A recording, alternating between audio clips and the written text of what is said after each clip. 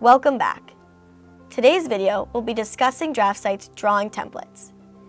These are great for when you find yourself reusing the same or similar workspaces every time you start a new draft. Using drawing templates, you can create your own personalized templates and save them as DWT files for future drawings.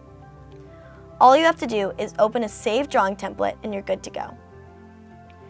Drawing templates are created by first setting up your usual drafting framework, including textiles, sizes, layers, and title frames according to your project needs.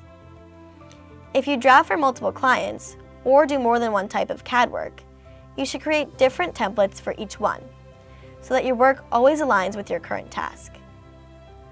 Once you've inserted your correct drawing settings, either press the Save icon in the upper left corner of your DraftSight window, or click the Save As option under the DraftSight logo icon.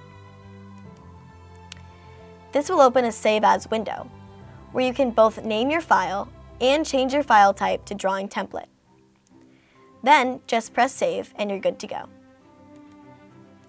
I hope this post encourages you to jumpstart your design process with drawing templates. If you're looking to learn more, visit the blog page or visit draftsight.com.